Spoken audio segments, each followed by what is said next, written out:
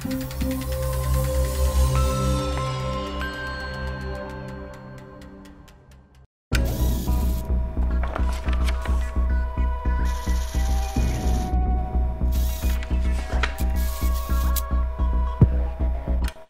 my name is Holger Kuester. I'm with the Geek Group, and today we're going to autopsy an iPhone 7.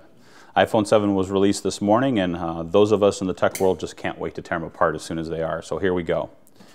Uh, one thing I will say is if you're taking a phone apart in the hopes of getting it to work when you put it back together, make sure you keep your screws in order. We're going to start with the two pentalobe screws on the bottom.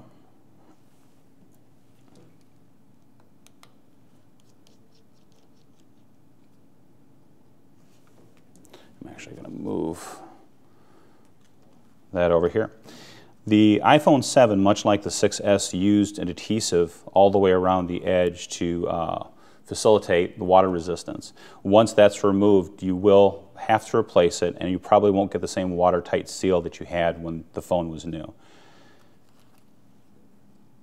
The difference also between the iPhone 6S and the 7 is that the cables run along the side here instead of the top.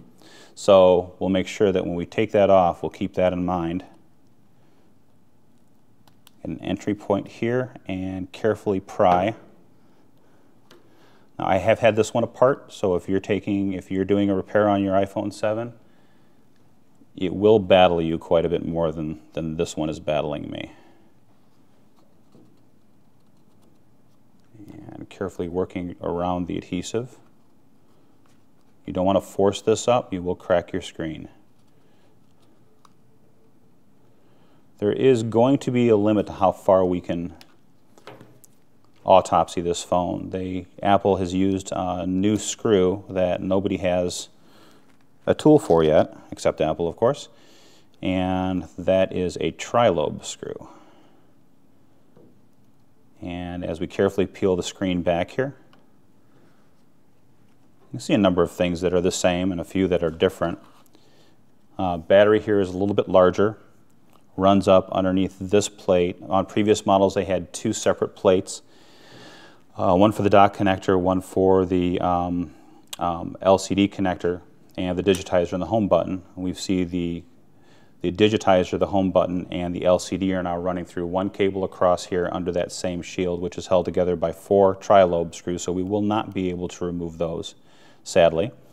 Um, the cable on the top here runs through along another shield on the bottom. That is where your front-facing camera assembly, which houses your connections for your ear speaker, your proximity sensor, which senses when you put the phone next to your ear, turns the, uh, turns the display off, as well as um, the ambient light sensor. Um, and your front-facing camera is also under here. So we look a little bit under here as well. Same type of connections for your power button and your volume buttons underneath here. Um, also held together by, it looks like pentalobe screws. And coming down here we have the loudspeaker, the, uh, the lightning connector, and then connections for the Taptic engine.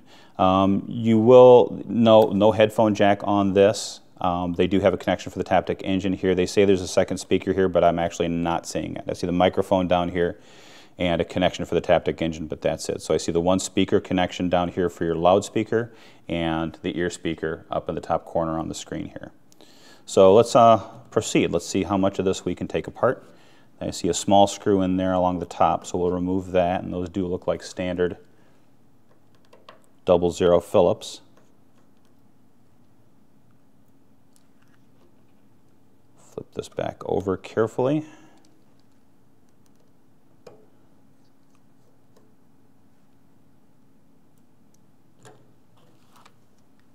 Remove the two that hold that shield in place. Once again, keeping all my screws very well organized. And we're going to carefully, with a nylon spudger, pull that cable up and out. And that is, as I said before, the cable assembly that holds the, um, that transfers data from the front-facing camera, the ear speaker connections, proximity sensor, and ambient light sensor. And then we have another connector here, which is our front-facing camera. Going to move that out of the way just a little bit and we'll pull that out of there as well.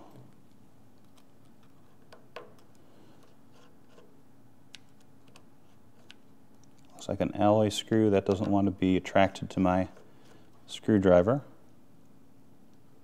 So we'll just leave that in there and be careful when I remove the shield.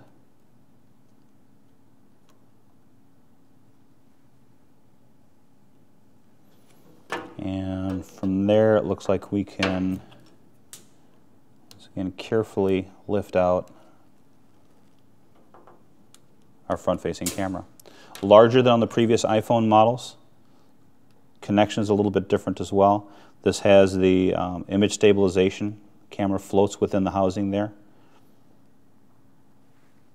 Move that off to the side. Um, it looks like on this side we're going to be limited to what we can remove, uh, but these are standard pop connections as we see here. Uh, these connections um, are going to be for, as I said before, the volume and the power cables.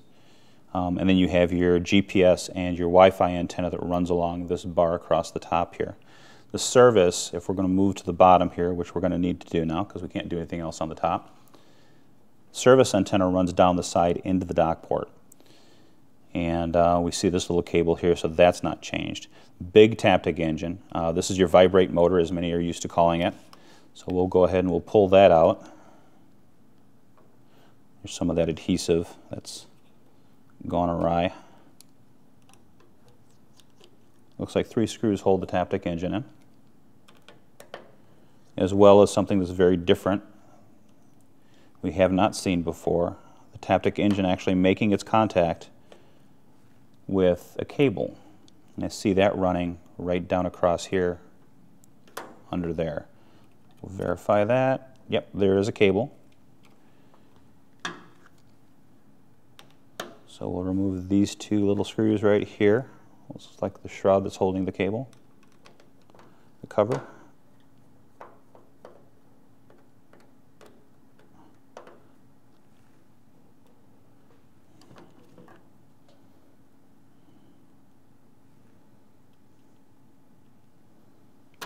And then the pop connector that holds and I see a lot of seals around these connectors, so that's got to be part of the plan for the water resistance. Um, important note, if you're thinking that this iPhone is waterproof, it will not be. Apple themselves say that there is a degradation of the seal over time. Um, they say they're calling water resistance, not waterproof. So aside from that, that looks almost as far as we can take that apart without having those tools on hand yet, the uh, tri-lobe screws. Um, moving across the dock port on the screen, we see the home button, very different home button that they had before. Before they had a physical um, button that would make contact. Now it's a solid state button. There is not that click, but there is a taptic feedback uh, from the taptic engine when you press that button, so it gives you that positive feedback, and those are also held in by the tri-lobe screws. So it doesn't look like that's coming off today. Uh, screen as well, side screws are all tri-lobe. Um, that would remove the thermal shield on the back here, which helps dissipate the heat generated by the LEDs um, off to the side of the frame, helping keep everything nice and cool. Um, I do see regular Phillips screws here, so we're going to disassemble.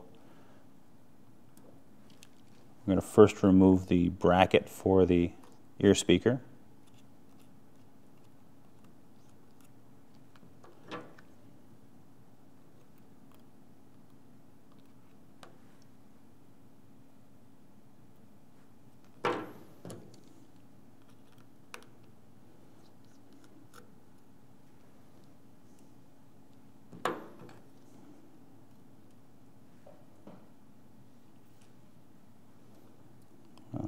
Camera up here a little bit. And we have two screws in the ear speaker now. That wasn't the case before.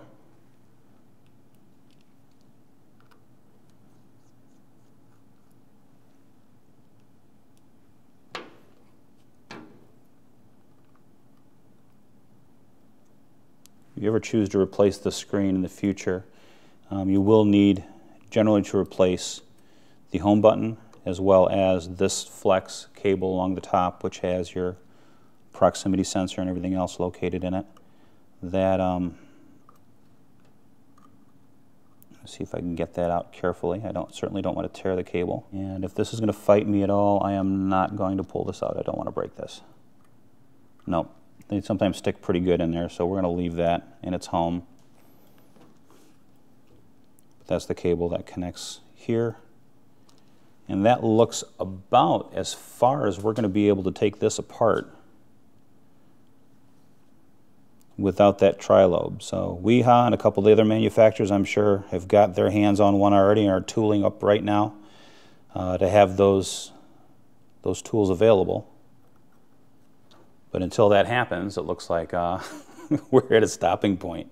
If, if you do a repair on this, the adhesive will be available, but when they seal these things, they do it in laboratory conditions, you're not going to get the same level of water resistance. You may still be water resistant, but you're not going to get that same level of water resistance as you would directly out of the factory.